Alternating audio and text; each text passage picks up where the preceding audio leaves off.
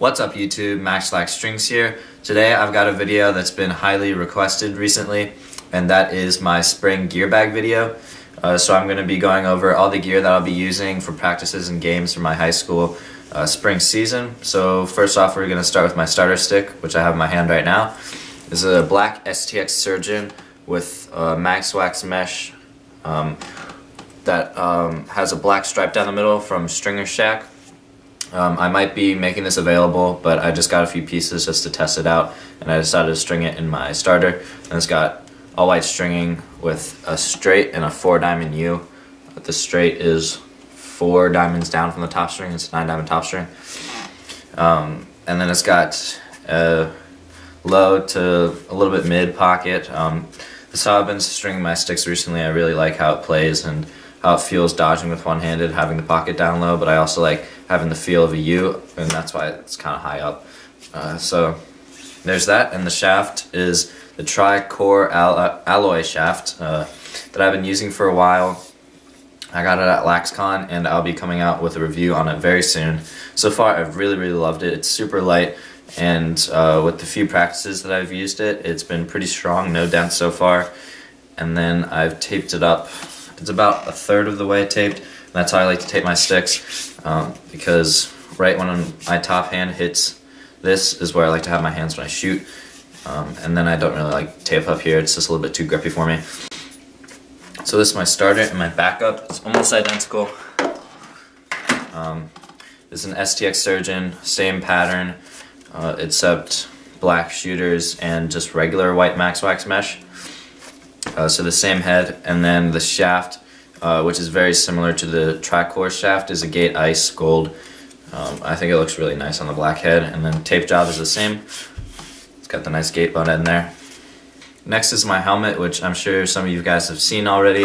It is a green CPXR with my high school's decals on it. Um, it's got yellow, I don't, I don't know if these are called Mohawks, but top decals, and they've got like a white trim on it, which is pretty cool um, LV for Loudoun Valley, which is my high school, and then for the back it has number 6, which was my number last year, but I believe I'm going to be changing numbers this year to 16. Uh, a nice American flag, Vikings, which is our mascot, and the 6 on the side. I really like this helmet, um, very comfortable. I used my R the other day and it gave me a little bit of a headache, so I'm glad that I'm going back to a CPXR, which are super comfy. comfy. Next up, we've got my shoulder pads. These are STX Agents that I've had, I believe, since I started playing lacrosse back in like 7th or 8th grade. Uh, so they've lasted me a very long time. I haven't really seen a need to upgrade at all because uh, they're very protective. They used to have big floppy shoulder pads, so I cut them off. So now they're more like liners, but I really like them. I've never really been bruised or hit at all in the chest area, so these do really great, and they're nice and light, fit well under a jersey. Next up, we've got my elbow pads. These are STX Assaults, uh, some of the best elbow pads in the game, definitely. I've had these probably for maybe a year now, and I really, really like them. They're super protective and super flexible, which I really like, so you're able to move your arms around a lot, even when you put them like over a sweatshirt, uh, which I do, I've been doing a lot recently. When it's really cold, they're still really flexible and very protective. Um, the only annoying thing is that they have like little plastic pieces and they're starting to come up I don't know if you can see that. They're starting to come up and they get caught on my jersey sometimes, but that's because I've had them for a long time and I think I might upgrade to another pair. Um, I don't know if I'll get a different type, but if I do, if I do, I think I'll just get the same pair because I love these things so much. Next up, we've got my cleats. These are Nike Huarache 4s in white and gray. Um, I just got these, so I haven't had, I've only practiced with them maybe three or four times, but I really enjoyed them. They haven't hurt at all. Um, in my other Huaraches, my Huarache 3s, it took me like a week, and I had blisters. These ones, um, I put orthotics in, and they fit perfectly. Uh, I haven't had any blisters. They're pretty broken in, very easy. Uh, I mean, they fit my foot really well. They're really comfortable, and really, I think this is a really great pair of cleats. Be looking out for a review on these very soon uh, once I get uh, probably into the first week of, of tryouts so I can get a better chance to look at them.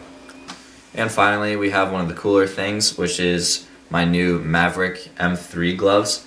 Uh, these are team gloves that we just got yesterday, um, and they're really, really sick. Um, they've got our Viking logo right here.